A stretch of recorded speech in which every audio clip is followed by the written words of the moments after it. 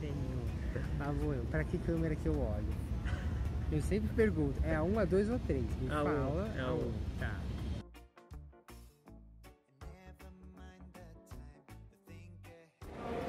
Aqui é a Bolsa de Valores do Brasil. Painel aqui no subtérreo. Que é ao vivo essas cotações.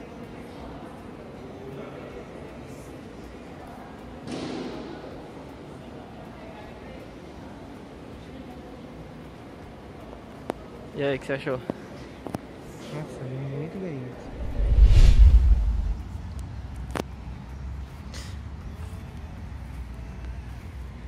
Conhecendo aqui o Parque Ibirapuera.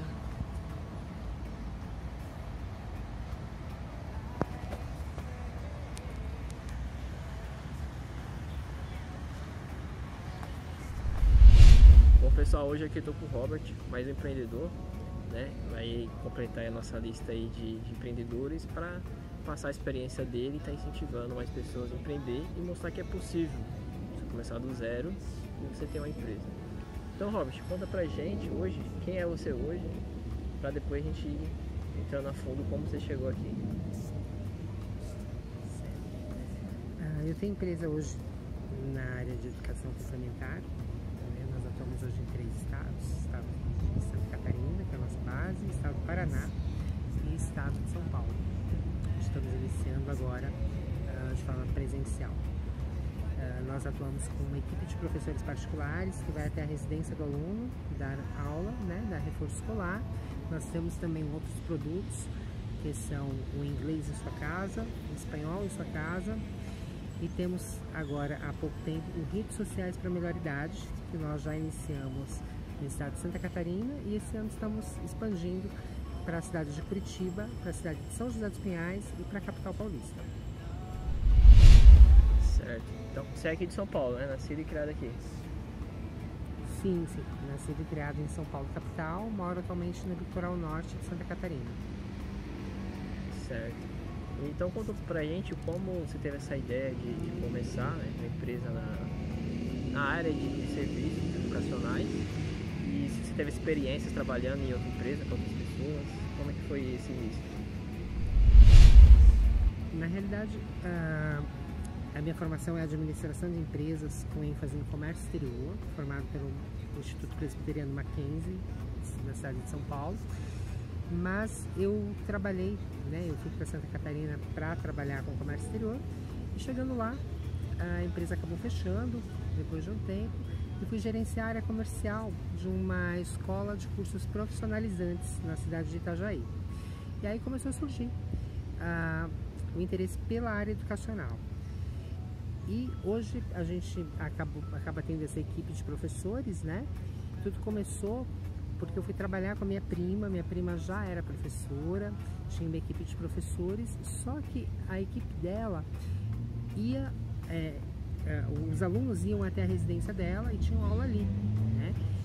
E após um tempo, nós acabamos é, dividindo os negócios, né? A minha prima acabou continuando com a equipe dela na cidade de Balneário Camboriú e eu acabei montando uma equipe que vai até a casa do aluno. Então, se o aluno precisa, é, tipo, a pessoa não tem disponibilidade de ceder a sua casa para aulas, a gente sempre recomenda a equipe dela. E caso a, a pessoa tenha né, disponibilidade não, de, de ceder a sua casa para que o aluno faça a aula, ou então a pessoa não tem tempo para levar o filho em algum lugar, aí nós disponibilizamos a nossa equipe que vai até a residência do aluno. Você foi então parou em Balneário Camboriú e você foi trabalhar na empresa lá, certo? Isso. Na realidade eu já tinha, né? Já tenho família lá há mais de 40 anos. E tanto por parte do meu pai quanto por parte da minha mãe. E acabou aparecendo uma proposta, né? A pessoa acabou me contratando aqui em São Paulo, onde eu estou hoje, e para trabalhar lá. E eu acabei indo e a, essa mudança profissional aconteceu lá.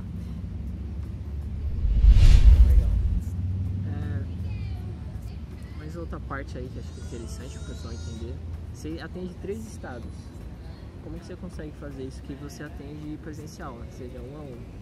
Você tem uma equipe, se trabalhar sozinho, como é que funciona? Nem dá, né? Três estados. Não dá, na realidade, o que acontece? Uh, nós temos professores, né? Nas, nos três estados, né? Então, nós trabalhamos por região. São Paulo é uma experiência nova. São Paulo nós tivemos uh, durante o ano passado aluna, uma aluna online. Então vai ser a nossa primeira experiência presencial na cidade de São Paulo.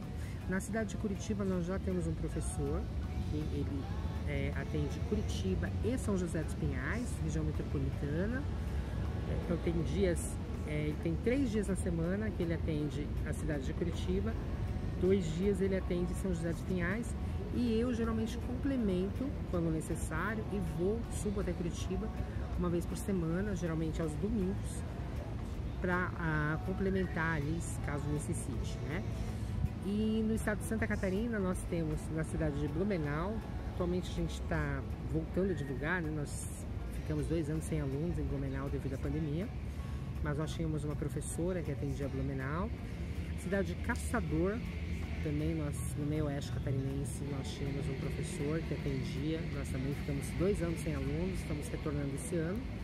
E no litoral catarinense nós temos um, uh, um número maior de professores que atende a, a cidade de Balneário Camboriú, Camboriú, Itajaí, Navegantes, Balneário Pissarras, Itapema, Bombinhas.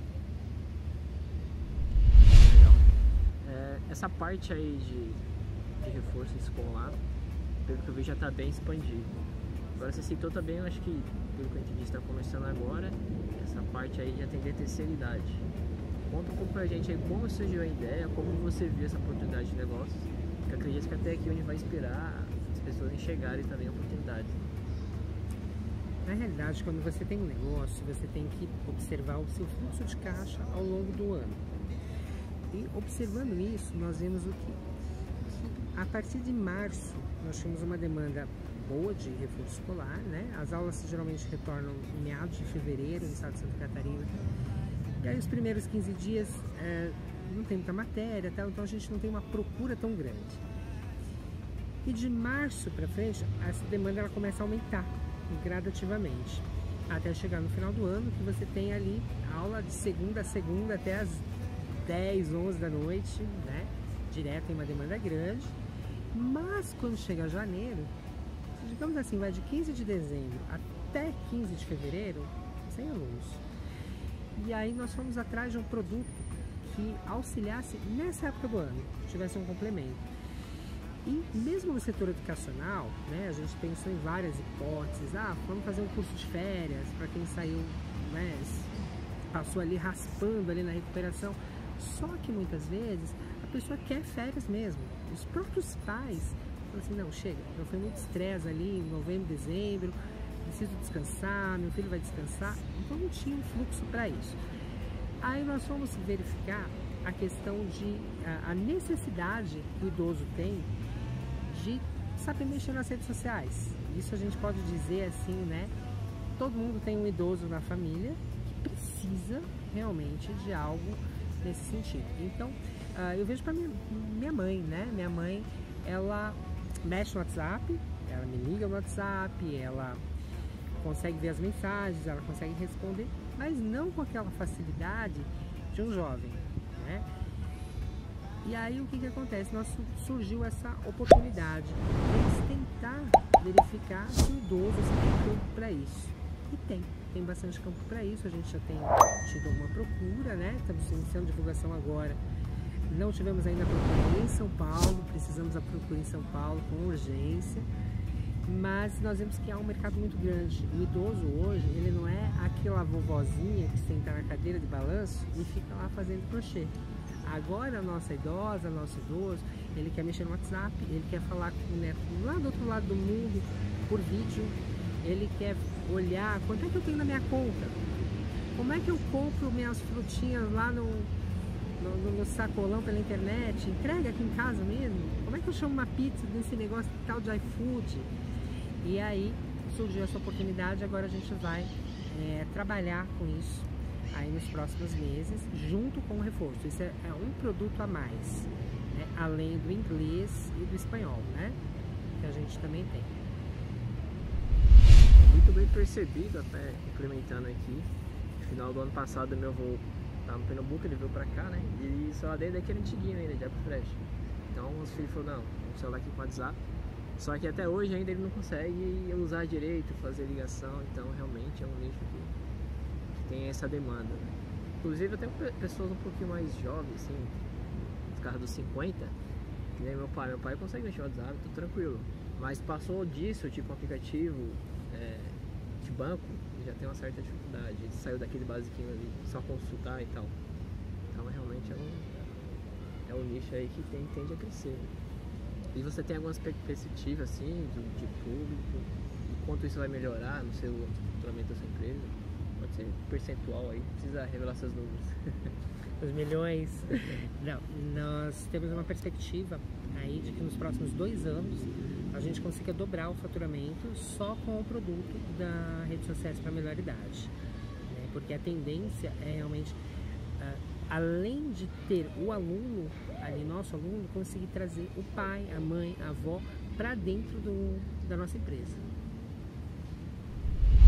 Interessante. Então com você já casa tipo tem vendas como é que é o, o termo usado? É... Venda casada. Não, é outro termo, esteira de vendas, algo assim, né? Você vende o produto e consegue colocar outro. Ah, sim. Que venda casada não fica um termo é. muito bom, né? Bom, acho que você passou forma geral aqui como é a sua empresa hoje. Agora eu queria que você passasse uma mensagem pro pessoal que quer empreender, contasse um pouquinho de suas dificuldades também, para ver que nessa maravilha você já sai faturando, né? a história que você me contou que você ia em shopping, em balneária lá, para captar clientes. Conta um pouco dessa parte aí de dificuldade que te motivava ali a continuar fazendo aquilo?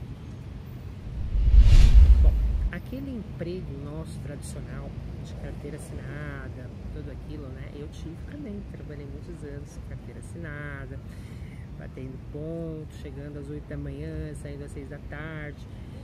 E aquilo ali, é, digamos assim, é importante? É importante. É muito bom, só que se você tem uma visão empreendedora, se você tem uma visão de ter o seu próprio negócio, o primeiro passo é a persistência, é acreditar em você. Se você não acreditar né, que aquilo tem potencial, que aquilo pode dar certo, não adianta. Então, acredite em si, em si mesmo e persistência. E atrás. Uh, o primeiro aluno, né, eu digo que é o mais importante. Eu, hoje em dia, hoje a gente atua em 14 cidades, indo para a 15 né? Vai ser São Paulo capital que é, um, é realmente um grande desafio chegar na maior cidade da América Latina, né?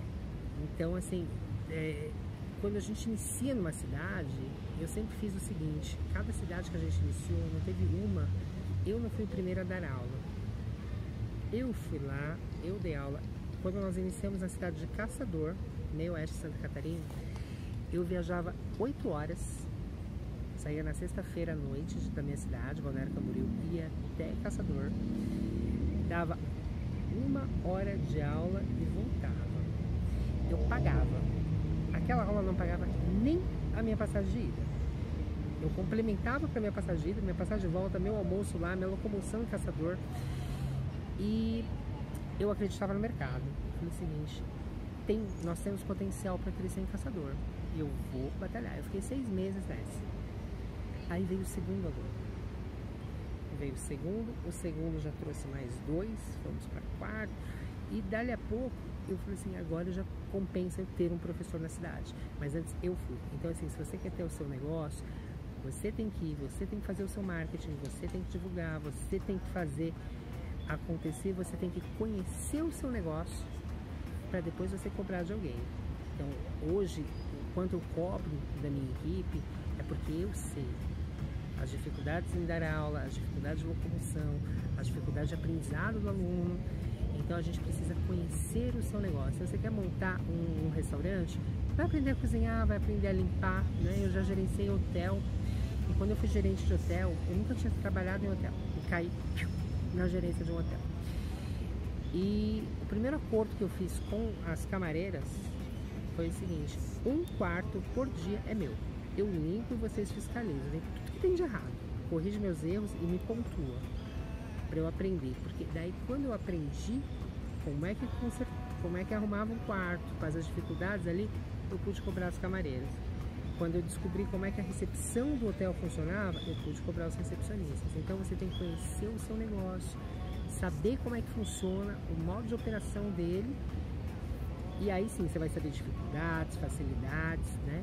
Então o segredo é conhecer, estudar bem o seu negócio, estudar bem o seu nicho de mercado para que dê certo. E ser empreendedor no Brasil não é fácil, né? Não é fácil não. Mas a gente tem que batalhar, acreditar no sonho e seguir em frente. Interessante que você falou bastante que muitos empreendedores enfatizam, né? Você conhecer o seu negócio para você poder realmente fazer diferença. Nem essa experiência de gerência eu não sabia não. Praticamente foi o empreendedorismo que fez, né? Intraempreendedorismo. Né? É, ali eu era funcionário, ali eu era funcionário ainda. Mas já para poder gerenciar, para poder administrar um negócio, você tem que conhecer. Então, mesmo eu sendo funcionário, para eu cobrar do meu funcionário ali, eu precisava conhecer. E nisso já foi te dando a experiência de conseguir seu negócio. Você tinha essa ideia de ter seu negócio próprio nessas épocas ou nem passava pela cabeça? Nem passava.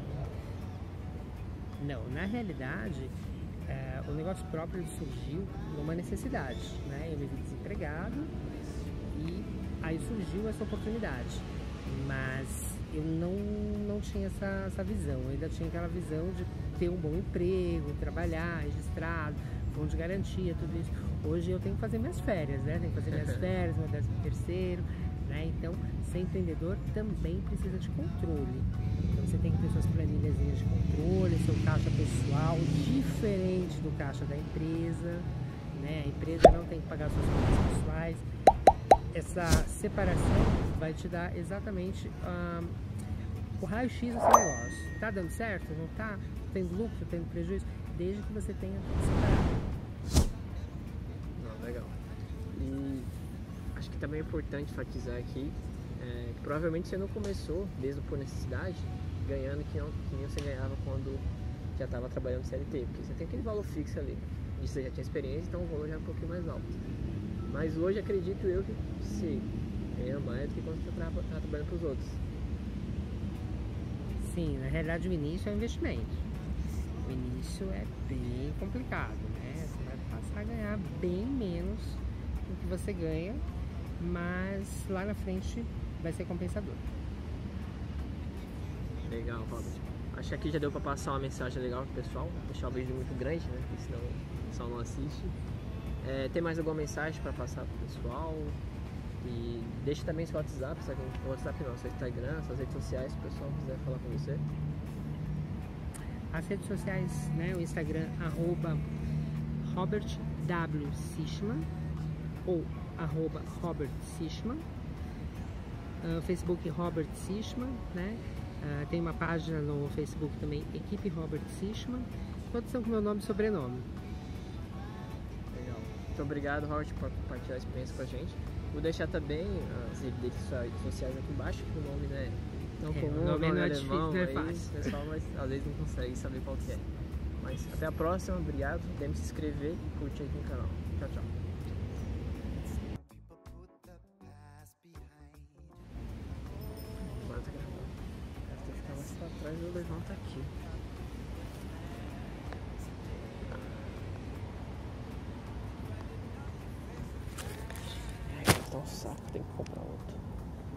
Que um imã? Não, é que na verdade minha irmã quebrou aqui. Sei, tem. Olha, Tudo em casa não tem nada inteiro. Se tiver, eu mesmo vou lá e quebro, porque não é possível. Não, é não. Tem que quebrar. não pode estar assim. Aí melhorou.